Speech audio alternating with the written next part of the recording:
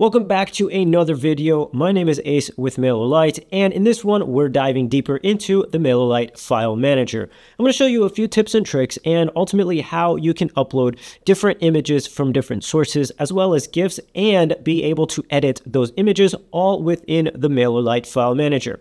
Now, with that said, let's go ahead and jump on the computer and get started. And once you are logged into your MailerLite dashboard, you can access our file manager on the left side toolbar simply by clicking on the tab File Manager.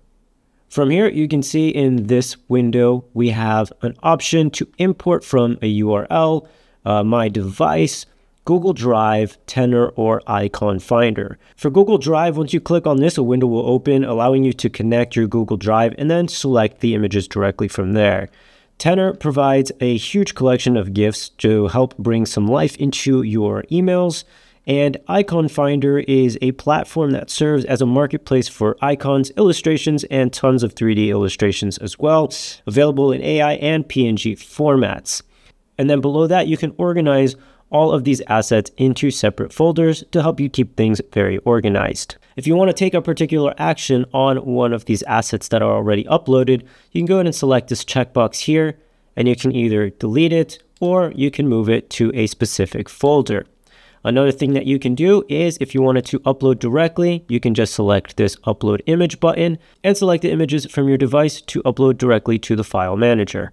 If you want to organize your media in a different way, you can also do that here by date uploaded, name or size, and then you can click this button for ascending or descending order. And then if you want a list view, you can go ahead and select that button there, and there you have an easy to view list view. Now, let's say you want to edit an image. We can actually do all of that within MailerLite. So if we click on the particular image and then click more, we can click on edit and that'll bring us to our editor that's within our MailerLite file manager.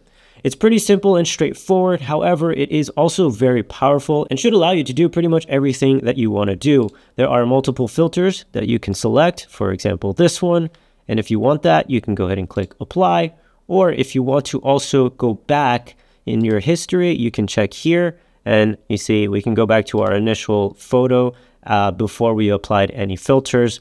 There are tons of different frames that you can add and just a bunch of really cool adjustments to add a little bit more creativity to your images.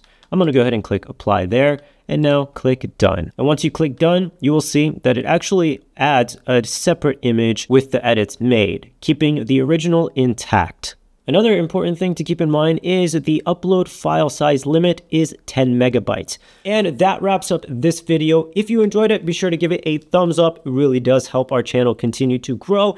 And if you're not already subscribed, consider doing so. It is completely free and you'll be able to stay up to date with all new updates and videos that hit the channel. As always, thanks for watching and I'll catch you guys in the next one.